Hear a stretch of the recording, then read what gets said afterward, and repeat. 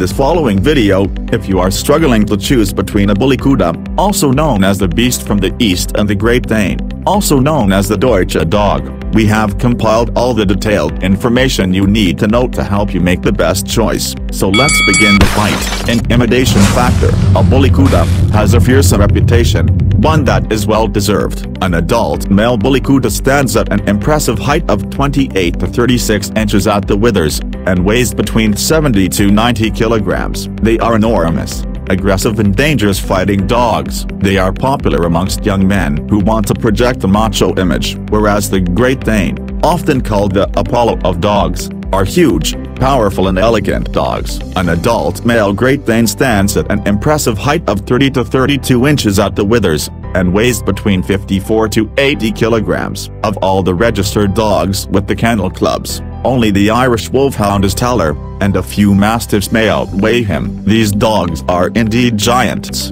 muscular and strong, their heads and jaws alone are large and show just how powerful these dogs are when they need to be. However, based on the appearance, the Bully Kutta have got all the hallmarks of an intimidating breed as compared to the Great Dane. So one point to Bully Kutta, Bully Kutta 1 Great Dane 0, powerful and loudest bark. Let's hear it first and we'll decide accordingly.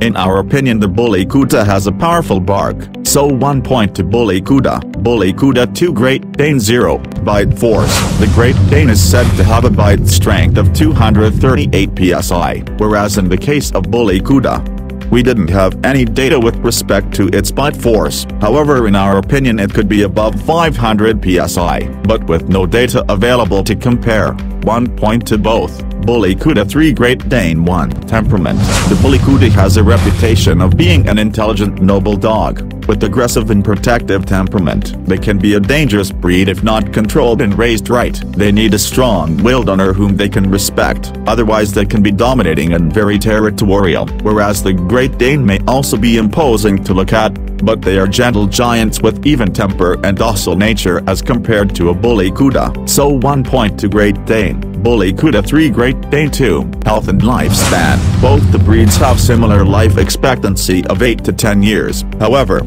a Great Dane is prone to a host of health problems and can quickly ring up a hefty vet bill as compared to a Bully Kutta. So one point to Bully Kutta. Bully Kutta 4 Great Dane 2, Exercise and Energy Levels. Both the breeds are high-maintenance dogs in the exercise department, and ideally need to be taken out for a walk, a minimum of twice a day for a good hour each time. They also need to be given a tremendous amount of mental stimulation, and preferably one that involves playing interactive games with a dog. However, other things being equal, a Bully Kutta is far more energetic as compared to a Great Dane. So one point to Bully Kutta, Bully Kutta 5 Great Dane 2, kid-friendly. Both the breeds are known to be good around children of all ages because they are so calm and patient, more especially if they are well bred even-tempered dogs. As such they are not recommended for toddlers because of their great size. However, in our opinion a Great Dane is more gentle with kids as compared to a Bully Kutta. So one point to Great Dane. Bully Kutta 5 Great Dane 3 Temperament with other dogs and pets. A Bully Kutta can show aggression towards other dogs and pets which is why it's important they be introduced to each other slowly and carefully to make sure things go smoothly, whereas a Great Dane gets on well with the family cat and will tolerate being around other family pets they have grown up with. So one point to Great Dane, Bully Kutta 5 Great Dane 4, Powerful Guard Dog, among the two, a Bully Kutta is extremely ferocious and a powerful guard dog, so 1 point to Bully Kutta, Bully Kutta 6 Great Dane 4, so the winner between the two giants is the beast from the east, the Bully Kutta.